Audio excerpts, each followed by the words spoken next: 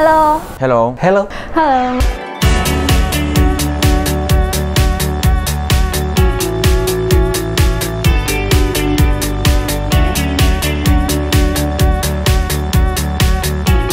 Hello, I'm Rakesh. I'm from Nepal. I'm studying chemical science course in Osaka University. My name is Yao Yu. I'm here at Osaka University studying applied chemistry.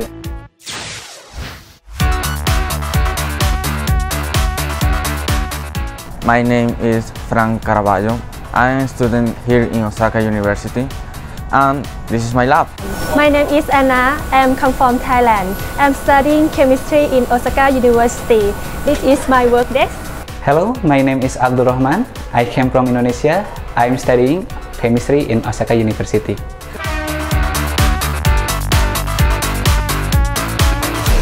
I like study here in Osaka University because it's just like in a research family. Good thing about study here is there are many facilities and instruments. Here you can meet a lot of international students, lots of people from around the world, also many uh, international minded Japanese. So it's good for networking. One good thing about studying in Osaka University is the facilities. There is everything we need. This is our lab and we are focusing on rare earth material. This is the reaction of my compound. I spend 8 hours per day in my laboratory.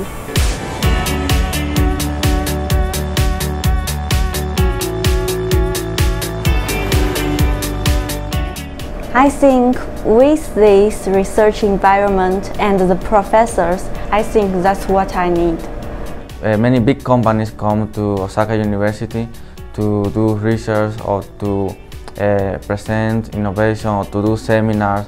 So uh, if you want, uh, you can reach to them. Like a family, the professor and students, we help and support each other. Osaka University is a great place for me to study.